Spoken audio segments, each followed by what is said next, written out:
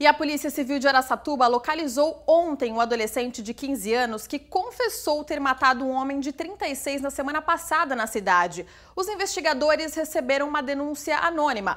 O menor alegou que matou Carlos Alberto da Silva depois que ele teria o assediado sexualmente. O adolescente foi ouvido e liberado em seguida. Vamos então relembrar esse caso. O crime foi descoberto somente na manhã da última sexta-feira, dia 21, no bairro Primavera. De acordo com a polícia militar, os vizinhos chegaram a ouvir uma discussão entre a vítima e o adolescente e viram que a porta da casa estava arrombada. Foi então que eles decidiram chamar por ajuda. O homem foi morto com cinco facadas e foi encontrado sentado. As facas usadas no crime também foram apreendidas.